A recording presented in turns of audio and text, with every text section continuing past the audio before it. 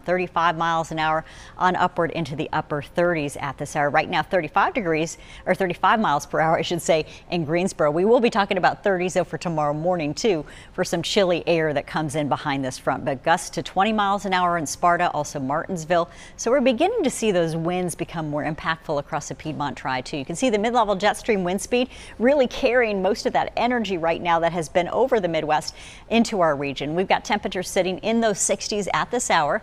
We look ahead to the 1, 2 o'clock hour and we'll see those showers and thunderstorms begin pushing in. So for Mount Airy, North Wilkesboro, by about 2 o'clock, we'd expect to see that line move through. Heavy rain, some isolated thunderstorms that may become severe. That's what we'll look for between 3 and 5 o'clock across parts of the Piedmont Triad.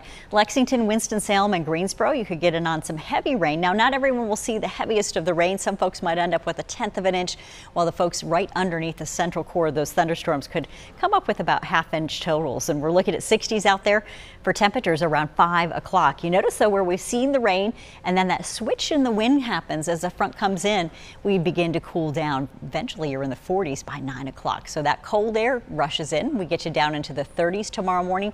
You should be sitting near the freezing mark. And even with winds dropping down, you're going to feel more like 5 to 10 uh, miles an hour.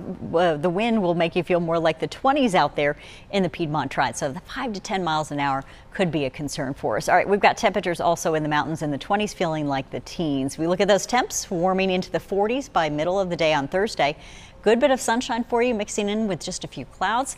Then we see mostly sunny skies through the afternoon. Highs only in the low 50s, though. We've got you at about 52 degrees for afternoon highs tomorrow. And then again on Thursday into Friday, we'll watch more clouds move in with rain chances. The Piedmont Triad with 70s today to upper 60s, cooling you down into the 30s overnight. You have those winds staying up at least until about midnight. We begin to see those relax later on.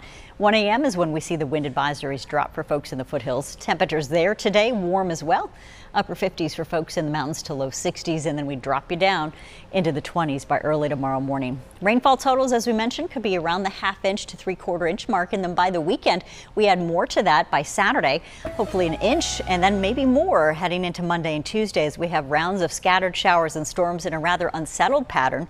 But you notice the cool air Thursday and Friday switches back to more spring like conditions into the 60s to start your next week time frame.